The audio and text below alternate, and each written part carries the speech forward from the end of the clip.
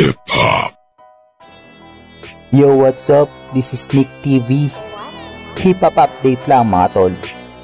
Pero bago natin umpisahan ang video, eh mag-subscribe ka na at i-hit ang bell button para sa iba pang hip hop updates dito sa ating channel.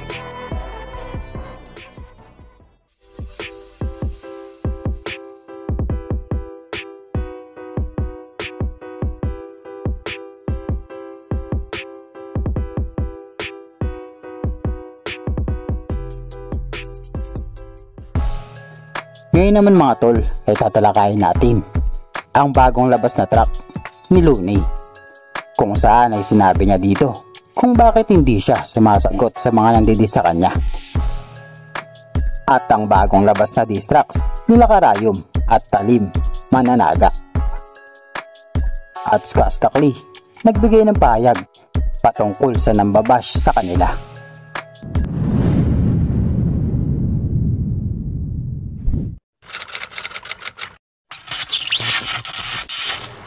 Nito lang mga tol ay naglabas si Karayom ng isang diss track na pinamagatang Tusok Part 2. Pero nakapremiere pa ito sa kanyang channel. Abangan na lang natin to mga tol sa kanyang channel at mag-subscribe na din kayo para maging updated kayo sa mga ilalabas niyang mga diss track. At si Talim mananaga naman mga tol ng Kampo Lagim ay naglabas muli ng isang teaser para sa ilalabas ng diss track Pakinggan natin to mga tol.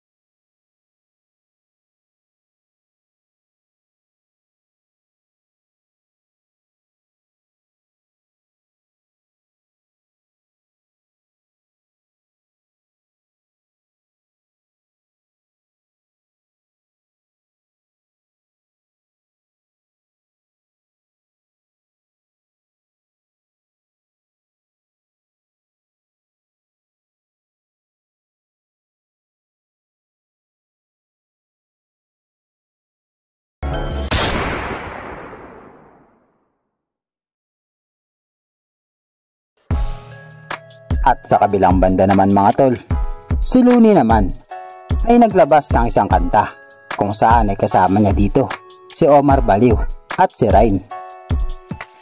At ito ay pinamagatang Kalmado Part 1. At sa kanta na ito ay nagbigay na ng sagot si Looney kung bakit hindi nga siya nagdi-disback sa mga nandidis sa kanya. Pakinggan natin ang track mga tol.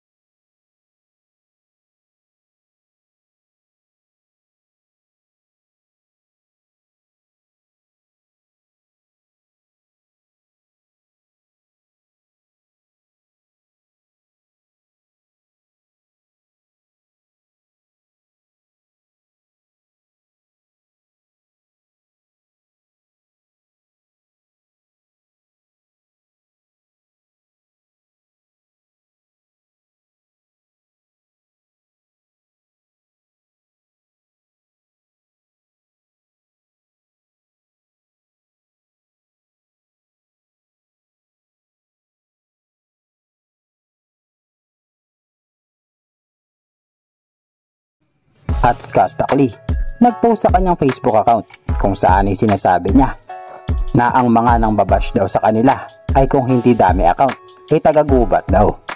Narito ang kanyang post.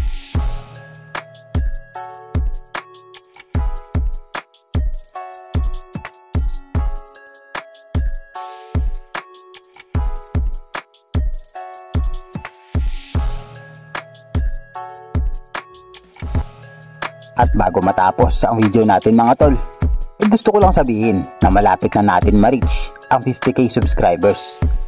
At nagpapasalamat ako sa lahat ng sumusuporta dito sa ating channel. At dahil dito mga tol, may magpapag-giveaway ulit tayo. Abangan lang ang iba pang updates sa susunod pa nating mga video mga tol.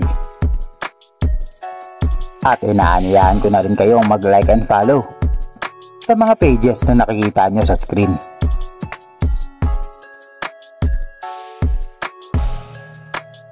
At yun na muna mga tol sa video natin ngayon. Huwag kakalimutan mag-subscribe para sa iba pang hip-hop updates dito sa ating channel. Maraming salamat mga tol.